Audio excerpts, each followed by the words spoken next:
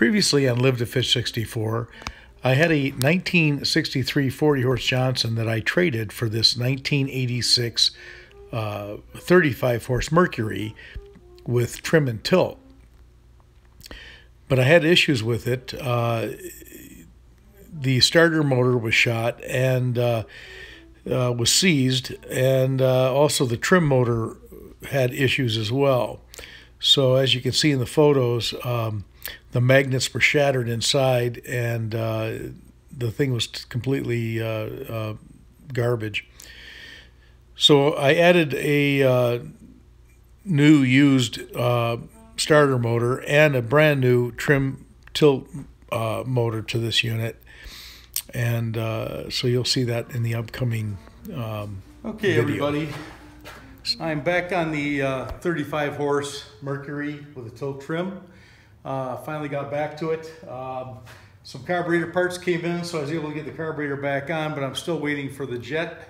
I had to replace the, the uh, high-speed jet. Actually, I had to drill it out of the carburetor because it was so uh, badly uh, beat up inside, and I wanted to make sure it was cleaned out. So I had to drill it out and uh, and pull it out. So um, anyway, I got spark now, so I want I want to demonstrate that. I've got the relays set up to where I've got the tilt, new tilt trim motor installed. That is already been installed. Just two Allen heads bolts that go in. You drop it in, you fill it back up with fluid, and you're all set to go. Didn't take long to do that. Um, so it's got the new wiring harness attached. That's this. And I've got a couple of bullet uh, connectors here that I've got to hook up to this here. Um, this would actually go to the blue and the green, but then I've got uh, I've got the uh, harness that, that actuates the, uh, the uh, throttle control and the tilt trim switch is here. So I need bullet connectors for these that I have to go get and still connect that up. So once that's done, I can test the motor and see. So I've got good compression, I got good spark. I don't know about my carburetor yet, but I'll find out. When I get the, when I get the jet in, I can put the jet in, I can put all this back together, and it should be good to go. I might be able to jury rig something up, but I, for right now, I don't have anything um, made up. Um, but here I'm going to check spark. I've got the wires hooked up. The spark testers are hooked up. And I just want to see if we got spark. So let's try it.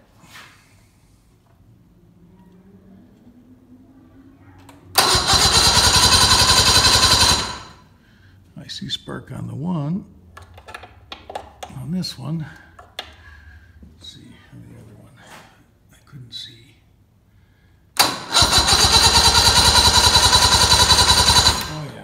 okay, we've got good spark. Okay, okay, good deal. All right, so I'm gonna leave it there for today. I've got spark, I've got good compression. I've got a decent starter that's on there now.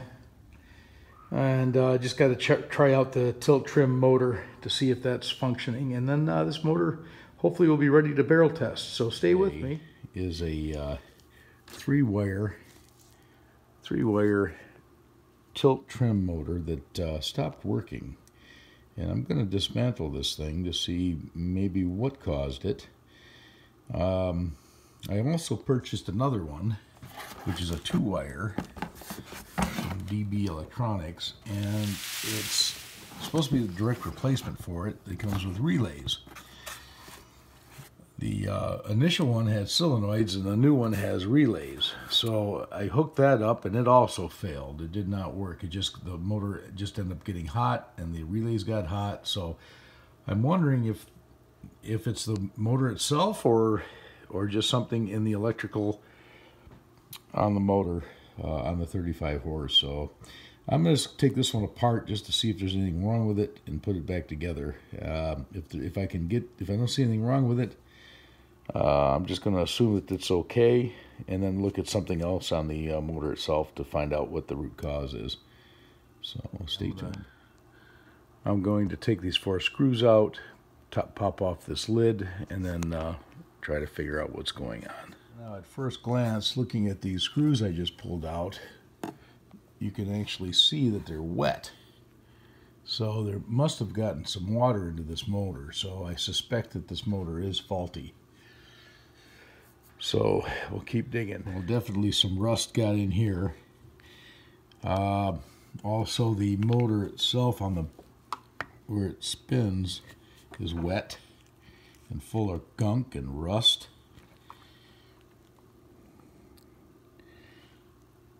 So that definitely is a problem. Okay, I got the back off. There was signs of water in here. Uh, also, the uh, brushes don't seem to move very well. They're not, the spring loads on these brushes are stuck. So that could be very well the, the problem is. Um, aside from all the rust, now the uh, uh, what would you call this thing? The actuator. I forget what they call this. Uh, I'm not a motor specialist by any means, but I do know that this has to be the uh, this has to be tested in order to see if it works. And there's um, resistance between each one of these connections you have to check and also the 180 test you have to go across each one of these with an, an ohm meter to test the resistance on each one of these this looks like it's in pretty bad shape. I doubt it's going to be very good. So I can I can check it but it looks like it's even been damaged here.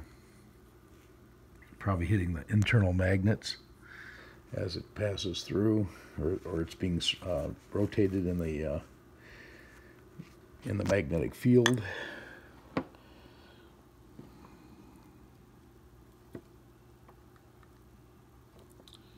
The housing don't look too bad, but this certainly does, does not look as good as I'd hoped. So I have to get a voltometer and check this and then make sure it's still functional. If it isn't, then it's garbage. So, okay, so far I've discovered that these brushes are sticking.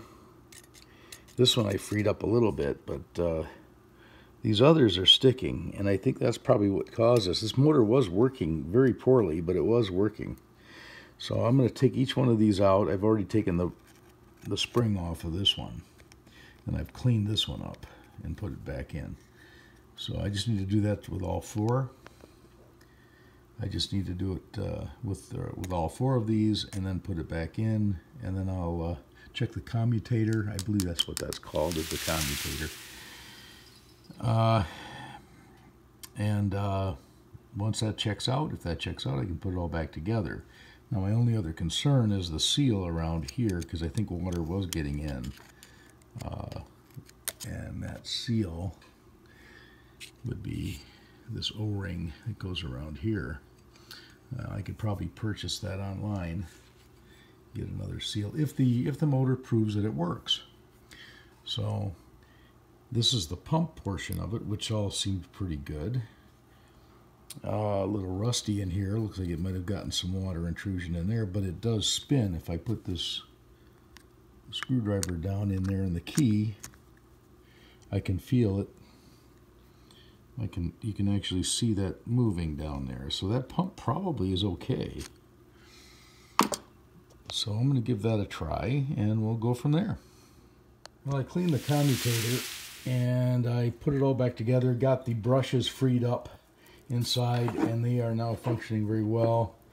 Uh, again, this is the three wire. So this is the original trim motor that that went on the uh, 35 horse and it's working in the garage. I'm going to use the I'm going to use the 12 volt battery off my car and test out this motor. So, being as though blue, it should actuate this motor. There it goes.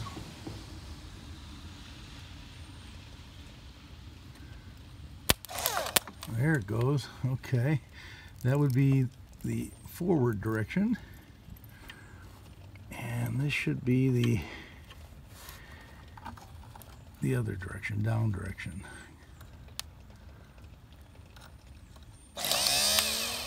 There it goes. Let's try the other one one more time.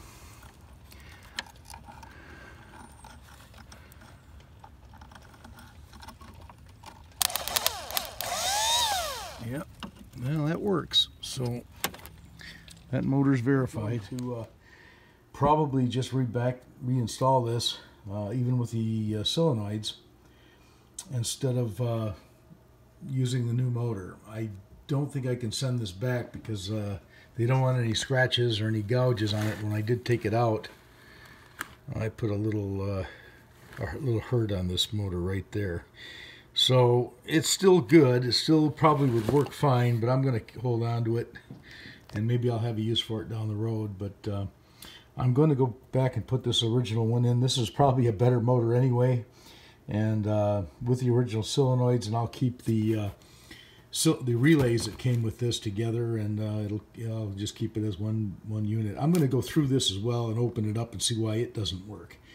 It, it, it, it does heat up. It does act like it wants to work, but it sticks.